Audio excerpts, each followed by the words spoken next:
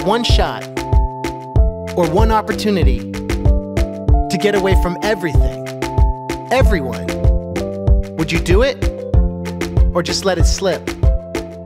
Yo.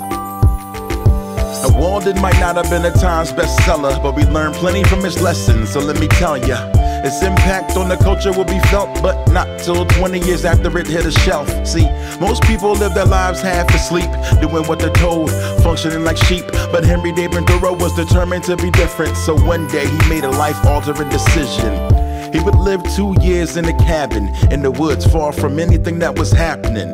No phone, no one could contact him. No interactions meant no distractions. He could focus on the beauty of nature, strengthening his spirit, becoming complete. Eating to live instead of living to eat while living in the mental prison when you can be free. This experiment would teach him true existence reading, farming, learning, and fishing. No talking, just listening. Uh, nothing brings focus quite like distance. The time would prove to be influential. He'd find deep meaning in the seemingly simple. And like magic wave from a wand, everything changed on Walden Pond. When the world gets you down, there's a place you can go. Back to Walden Pond like Henry David Thoreau. Living in the woods with no internet or phone. Two years, two months, two days all alone. When the world disappoints you, there's a place you can go. Marching to a different drummer, Henry David Thoreau.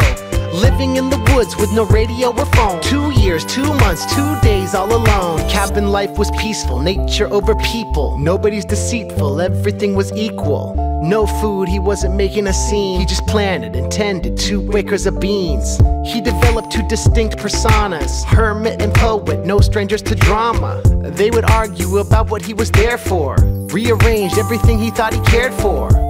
Poet would conjure up visions of past residents of the cabin that he lived in. Poor tradesmen, runaway slaves. In their company is where he spent most days. He prefers solitude, just being alone, not gazing or staring at a phone. With his environment, he formed a strong bond as seasons passed on Walden Pond. When the world gets you down, there's a place you can go. Back to Walden Pond like Henry David Thoreau. Living in the woods with no internet or phone. Two years, two months, two days all alone. When the world disappoints you, there's a place you can go. Marching to a different drummer, Henry David Thoreau.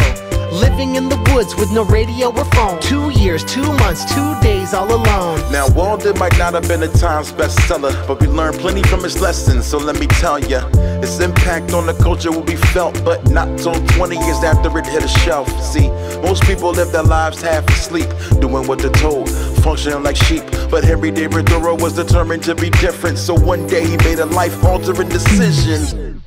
When the winter months close in and the lake outside is frozen, he takes a stick and pokes holes in just to see how deep the lake goes. 100 feet, but as it starts to get late though, Irish workers cut cubes to take those to sell.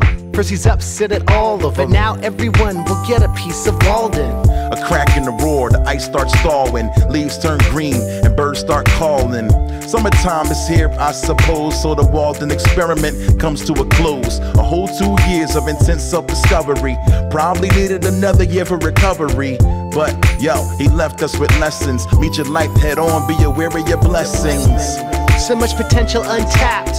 Once it's over, you can't come back. Any sort of fear or resentment will diminish when you find your fulfillment in life. Don't chase riches, find truth, live life to the full extent.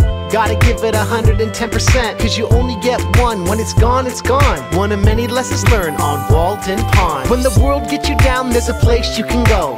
Back to Walden Pond like Henry David Thoreau. Living in the woods with no internet or phone. Two years, two months, two days all alone. When the world disappoints you, there's a place you can go. Marching to a different drummer, Henry David Thoreau. Living in the woods with no radio or phone. Two years, two months, two days all alone.